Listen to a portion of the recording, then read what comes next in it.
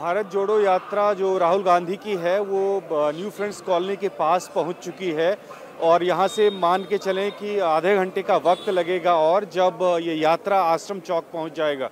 और उससे पहले मैं स्थिति दिखा दूँ, हर जगह आपको दिल्ली प्रदेश कांग्रेस की तरफ़ से जो तैयारी की गई है, वो साफ़ नज़र आएगी।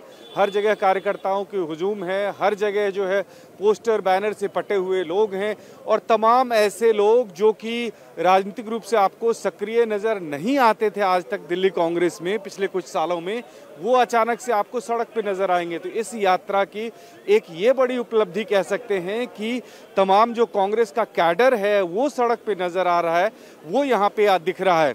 जहाँ तक सोशल डिस्टेंसिंग और मास्क की बात है तो कम से कम इस तरह की यात्रा में और ऐसे हुजूम में वो बेमानी है। अगर कांग्रेस के द्वारा भी ये कहा जा रहा है कि हर कोई मास्क लगा के आएँगे तो वो संभव नहीं है। जिस हिसाब से ये यात्रा निकलती है, जिस रफ्तार से चलते हैं, राहुल गांधी और उनके आसपास जो वो भीड़ होती है, उसके साथ चलने वाले लोग ना तो कोई सोशल डिस्टेंसिंग का मेंटेन कर पाएँगे, ना ही किसी के चेहरे पे मास्क रह पाएगा। इतनी भीड़ होती है और इतने ज़्यादा लोग एक साथ मिल के चल रहे होते लिहाजा इस तरह की कोशिश ज़रूर की जाती है बात करने की लेकिन सच्चाई ये है कि जो दूर दराज से कार्यकर्ता आए हैं चाहे वो हों या कि जो नेता आपको नज़र आएँगे वो कहीं पे भी आपको वो तैयारी तो नहीं दिखेगी लेकिन ये ज़रूर नज़र आएगा कि कांग्रेस के कार्यकर्ता अचानक से आपको सड़क पे नज़र आ रहे हैं। प्रदेश कांग्रेस के जो तमाम लोग हैं वो आपको नज़र आएँगे जो इतने सालों से नज़र नहीं आते। कुछ कांग्रेस के लीडर्स हैं उनसे हम बात करते हैं। सर ये बताइए कितनी बड़ी उपलब्धि आप लोगों के लिए मानते हैं? कम से कम प्रदेश कांग्रेस के तमाम वर्कर्स सड़क पे नज़र आ रहे हैं इस यात्रा की वजह से ये बहुत बड़ी बड़ी उपलब्धि है और मैं धन्यवाद देना चाहूँगा राहुल जी को जिन्होंने सबको फिर से एक बारी जान डाल दी और जैसे ही दिल्ली में ये यात्रा आई है कार्यकर्ताओं में जान आ गई है और कार्यकर्ता जो है वो हर तरीके से राहुल जी के साथ चलने को तैयार है। अच्छा ये इस यात्रा के बाद ये सवाल भी उठ रहा है कि पूरी दुनिया में कोरोना फैल रहा है केंद्र सरकार के द्वारा ये गाइडलाइंस दी जा रही है कि मास्क लगाएँ सोशल डिस्टेंसिंग का पालन करो। क्या आप लोगों को लग रहा है कि वो ज़रूरत नहीं लग रही है? सर पहले तो government of India COVID protocol लागू करे। कोविड प्रोटोकॉल लागू नहीं किया गया है। और कल का जो नोटिफिकेशन आया है उसमें मास्क अनिवार्य नहीं किया गया है लेकिन फिर भी हमारे कुछ साथी मास्क लगा के चल रहे हैं और कुछ साथी जो है वो मास्क नहीं लगाया लेकिन फिर भी जैसे ही कोविड प्रोटोकॉल लागू करेगी भारत सरकार हम उसके बाध्य हैं और हम उसको मानेंगे बिल्कुल। लग रहा है सर की जितनी भीड़ भाड़ है उस हिसाब से खुद में एक जागरूकता लोगों में होनी चाहिए जिससे कि कोरोना से बचाव हो पाए लोगों में लोग जागरूक है, सब पढ़े लिखे लोग हैं, सब जान रहे हैं, आज इतनी भीड़ न जन सैलाब है। वो जान रहे हैं कि एक राष्ट्रीय हित में कोई नेता सारे समाज के हर वर्ग को इकट्ठा करके एक साथ लेके चलने वाला है। इसलिए लोगों में उनके प्रति प्यार है और आ रहे हैं और सब लोग अपना प्रोटोकॉल के तहत चल रहे हैं। कोविड का भी कई लोग नियम का पालन कर रहे हैं। हम सब लोग जितने भी कार्यकर्ता, सिर्फ़ समाज के लिए सारे के सारे एकजुट होकर के राहुल गांधी के जो ये संकल्प है देश को एक करना देश में जो खाई है। देश एक हो वो ठीक है लेकिन क्या आपको ये लग रहा है कि कम से कम इस यात्रा से कार्यकर्ता सब एक हो रहे हैं? बहुत वर्षों से जो प्रदेश कांग्रेस से जुड़े हुए तमाम कार्यकर्ता थे वो कम से कम सड़क पे नज़र आ रहे मैं आपको एक छोटी सी मिसाल दूँगा जी ये है अनवर मिर्ज़ा। मुस्लिम रमेश यादव हिंदू ये सिख समुदाय से खड़े हैं। ये इब्राहिम जी हमारे मुसलम ईसाई समाज से।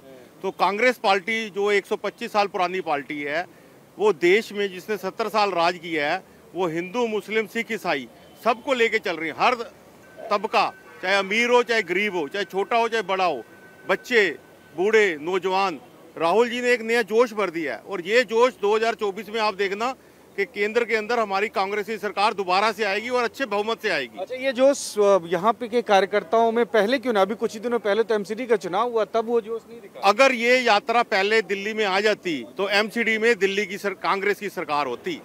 ये ये कार्यकर्ताओं का उत्साह है और ये देखा आपने किस तरीके से कह रहे हैं कि ज़मीन पर भारत जोड़ो यात्रा का असर हुआ है हालाँकि सवाल यही है कि यात्रा का मकसद राजनीतिक है कि सामाजिक है, अभी इसको लेकर स्पष्टता बाकी है। लेकिन राहुल गांधी जब दिल्ली पहुँचे हैं तो एक बार फिर उन्होंने संघ और बीजेपी पर हमला बोला है और अंदाज और शब्द वही हैं। राहुल गांधी ने कहा कि बीजेपी और संघ देश में नफरत फैला रहे हैं। आजकल बीजेपी आरएसएस ने क्या किया? हिंदुस्तान को बांटने का काम किया। पूरे हिंदुस्तान में नफरत फैला दी।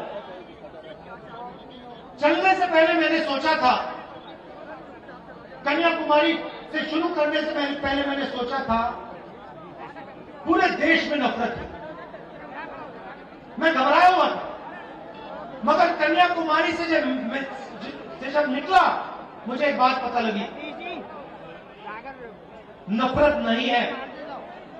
इस देश में सिर्फ़ मोहब्बत है। चुने हुए लोग, चुने हुए लोग नफरत फैला रहे हैं। मगर हिंदुस्तान का आम नागरिक, हिंदुस्तान का आम किसान, हिंदुस्तान का युवा मोहब्बत की बात कर रहा है, एक साथ चलने की बात कर रहा है, हाथ मिलाकर आगे बढ़ने की बात कर रहा है। यात्रा को देखिए। तीन हज़ार किलोमीटर चले हैं। ये छोटा सा हिंदुस्तान है। नदी जैसा है।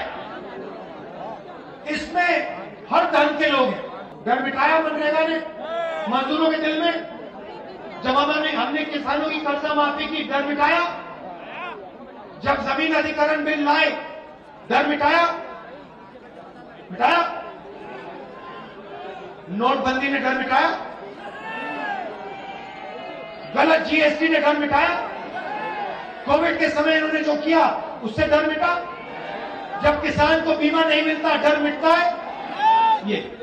तो इनकी सारी की सारी पॉलिसी बेरोजगारी से डर मिटा।